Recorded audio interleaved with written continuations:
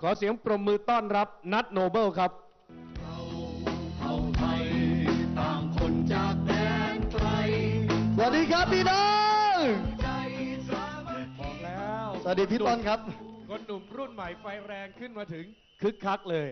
เอาอย่างนี้น้องนัดวันนี้นะครับ ครับผมอยู่ในเหตุการณ์ที่ตำรวจประกวดตัวเอี้ยไปล้อมจับอืม คุณสาธิตเซเกาด้วย คือตำรวจก็มีนะครับ ครับตำรวจดีๆ ก็เรียกว่าตำรวจ วันนี้ที่ไปก็มีตำรวจตะกวดก็มี คือที่สงสัยที่สุดคือคนที่บอกว่าเป็นตำรวจ แต่ดูหน้าดูตาดูแต่งตัวแล้วไม่ใช่อะไอ้นั่นเรียกตัวเอี้ยอ่าตัวเตี้ยตัวเตี้ยตัวมันไม่สูง เอาอย่างนี้ ผมจะขออนุญาตเปิดภาพ แล้วให้น้องนัดพูดไป ผมก็จะซักถามเรามีเวลาไม่มาก เดี๋ยวจะเป็นพี่สมศักดิ์โกสายสุข ครับผม แต่อยากให้พี่น้องดู ลุงกำนันก็เปิดรูปไปแล้วรูปหนึ่งครับ แต่เรามีอีกหลายรูปนะครับ พี่น้อง พี่น้องทางบ้านดูนะครับว่า พฤติกรรมของตำรวจที่ไปจับพี่สาธิตเซกาว ในข้อหากบฏโดยที่พี่สาธิตข้อหาของเขาคือ ขึ้นเวทีกปปส บอกรักในหลวง บอกว่ารักในหลวง ไม่ต้องการคนที่ดูถูกสถาบัน ไม่ต้องการคนที่ดูหมิ่นก้าวร้าวสถาบันครับ แล้วโดนจับว่าเป็นกบฏ แต่นายทาริศเพ่งดิตเป็นข้าราชการชั้นผู้ใหญ่ ถวายสัตย์ปฏิญาณ เสือกไม่ดูแลสถาบัน จับทำไมล่ะคุณสาธิตเซกาวมันเป็นกบฏกับพ่อกับแม่มึงหรือไงทาริศเอาละครับ พร้อมไหมอ่าเปิดภาพมาดูหน่อย อะนี่น้องครับนัทอธิบายหน่อย โอ้นี่เปิดมาเจอน้องนัทเลยครับ จริง ๆ ควรจะเปิดเป็นรูปสุดท้าย อ่าไม่เป็นไรไม่เป็นไรรูปนี้ก่อน พี่น้องดูนะครับ เห็น ผู้ชายคนที่คุกเข่าอยู่ไหมครับ เห็นไหมครับ คนนี้แหละครับ กกระชุดนี้แหละฮะถูกตำรวจจับครับ ถูกตะกรวดจับ คือเอ่อในขณะที่มวลชนกำลังเข้ามาเพื่อปกป้องคุณสาธิตเซเก้าอะนะฮะครับ เอ่อเอ่อก็มีเจ้าหน้าที่ใส่เครื่องแบบมา ก็ยืนปกป้องทรราชกันไป พี่น้องประชาชนต้องการอะไรมันไม่สน ปิดถนนปิดซอยก็มีอ่า barrier เหล็กมาอ่ากั้น นี่นี่นี่นี่อะ อ่าคุณนัทอะคุณนัทโนเบิล ทีนี้ปุ๊บ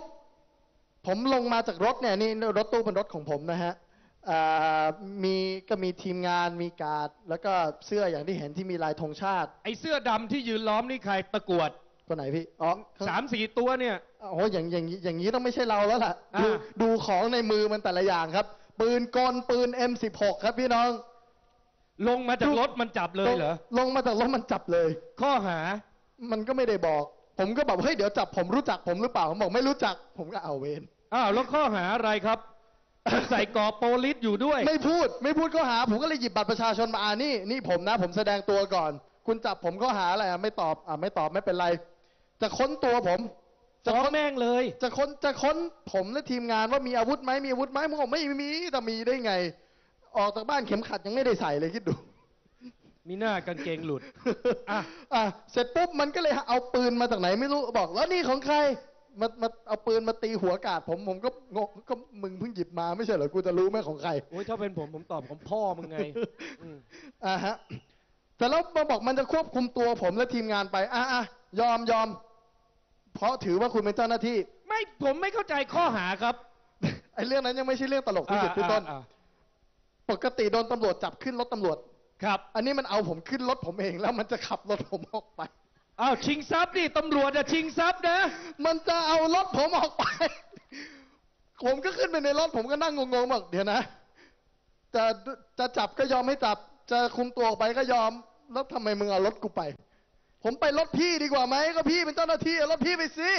เออเลวว่ะมันก็ตำรวจมองหน้างงๆเอาไงดี ในขณะนั้นนะฮะก็มวลชน ชาวสีลมชาวก็มวลมหาประชาชนของเรานะฮะฮะ ที่อยู่ทุกที่มีที่เดียวที่เราไม่อยู่คืออยู่บำรุง อ่า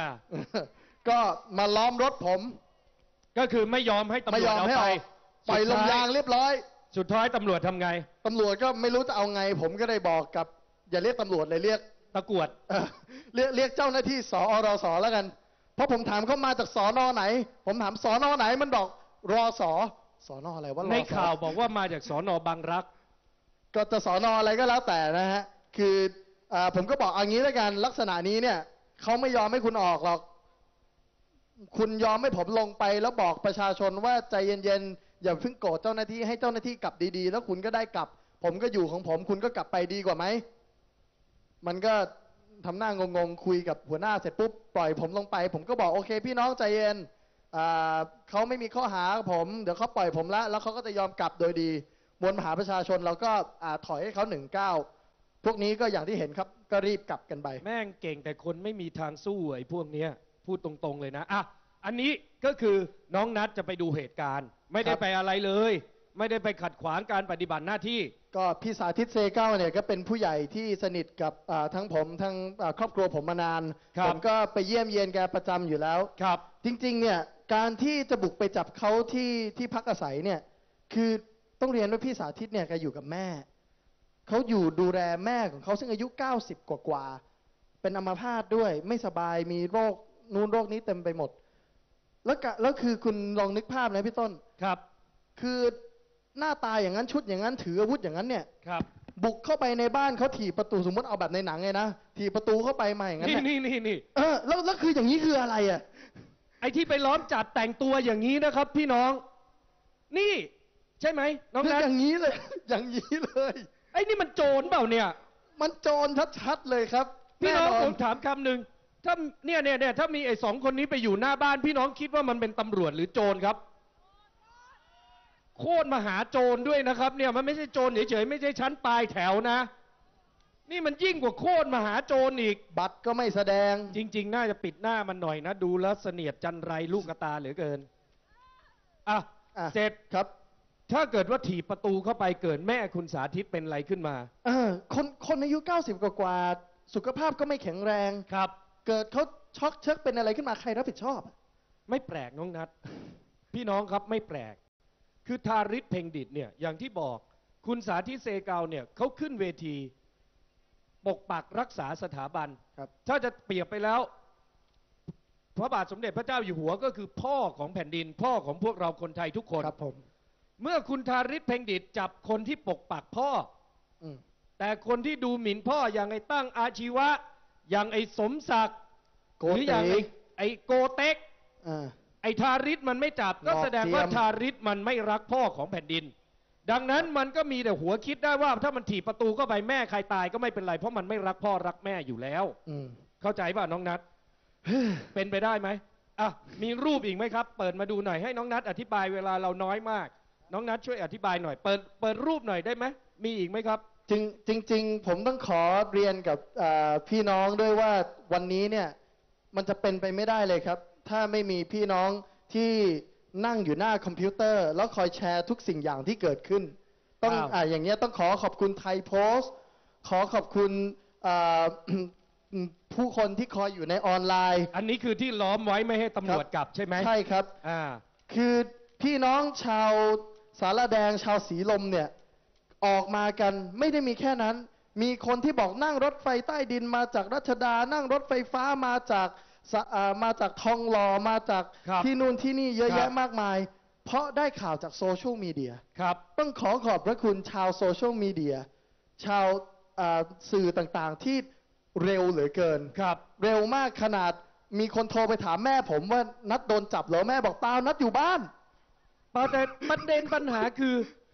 พูดตรงๆนะครับ พี่น้องที่อยู่ทางบ้านด้วย จากภาพที่ออกทั้งหมด ไปจับสาธิตเซเกาด้วยคนที่อ้างว่าเป็นเจ้าหน้าที่ครับในชุดทุเรศทุเรศ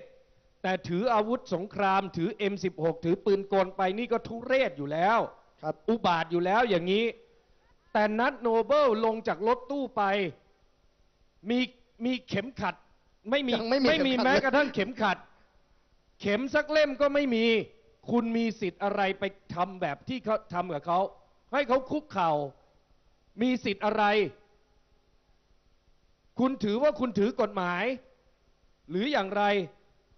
ไอ้พวกนี้ต้องเอาให้เสร็จเาไม่ให้ ไม่ต้องห่วงหรอกครับ แน่นอนบัตรนี้อ่านี่คุยนี่ กับทนายแล้ว ไอ้นี่ตัวนำจับใช่ไหมแน่นอน อืมพวกผมเข้าแจ้งความแน่นอนครับ ครับ เพื่อบอกให้สังคมได้รู้ว่าความชอบธรรมขององค์การเถื่อนอย่างสอรสหรือตำรวจ ที่รับใช้ระบอบทักษิณเป็นผู้พิทักษ์ทรราชขี้ข้าทั้งหลาย มึงไม่มีที่ยืนแน่นอนครับพี่น้องอ่านะครับอะวันนี้คุยกับน้องชาย ขนาดนี้ไปพักเหนื่อยก่อนไหมครับขอบนะคุณครับ น้องชายผมช่วงหลัง ผลงานเข้าตาเหลือเกิน เป่านกหวีดใส่กิตติรัตน์อย่างเงี้ยแต่วันนี้ไม่มีความผิดใด ๆนะครับ พี่น้องนี่คือการกระทำเกินกว่าอำนาจชัดเจนเขาลงรถส่วนตัวครับ ไม่ได้ทำอะไร ไม่ได้ยุยง ไม่ได้ส่งเสริม ไม่ได้ขัดขวาง ไปดูว่าเหตุการณ์เกิดอะไรขึ้น ครับกับกรณียกกำลังไปจับคุณสาธิตเซเกา แต่เจ้าหน้าที่ตำรวจลุแก่อำนาจเอง นี่ครับ ถือว่าผิดผิดแน่นอน เพราะฉะนั้นเจอกันในศาลแน่นอนถูกเจไหมอน้กัอนงในนัทศาลแน่นอนครับผม อะขอเสียงปรบมือให้น้องนัทโนเบิลหน่อยครัขอบพระบคุณครับ อ่า สู้กันต่อไปครับพี่น้อง แล้วน้องนัทก็สู้ด้วยนะครับ